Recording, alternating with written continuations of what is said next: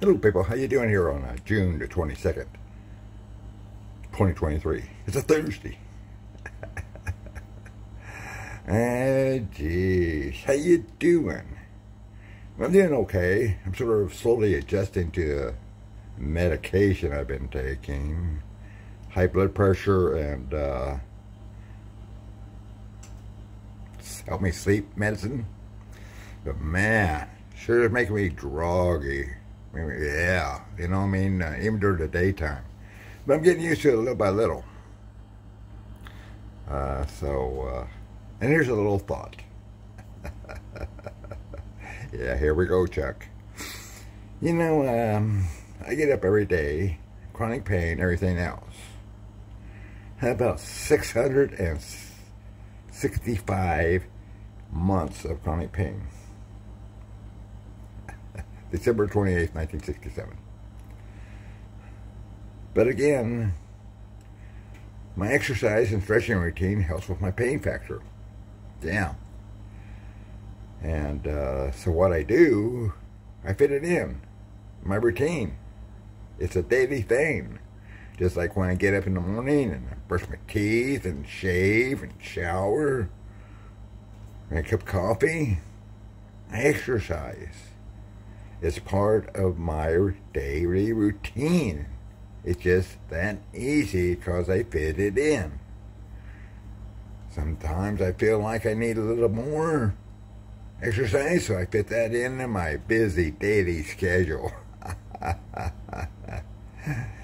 you know, with my wrists, I got osteoarthritis in my wrists, and uh, five pound weights is all I could uh, do.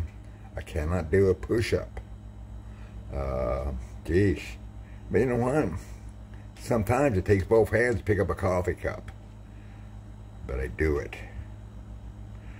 So there you go. Like I say, you know, you say you don't have time to exercise. Make it part of your routine. And be healthy. so enjoy your day, whatever you do. It's uh, late. It's never too late to get into shape. Thanks for watching, people. Hope you all have a healthy, pain-free life. Mm. Well, wake up to reality. Pain is part of life. It's a warning signal. But anyway. I was thinking, boy, this morning feel like a cereal morning. Cereal? Crack? Snap, crackle, and pop. There we go. Remember that one?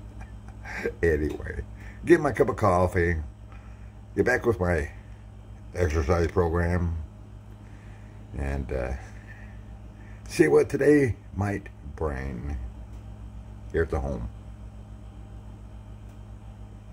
Thanks for your uh, subscribers out there. Appreciate it.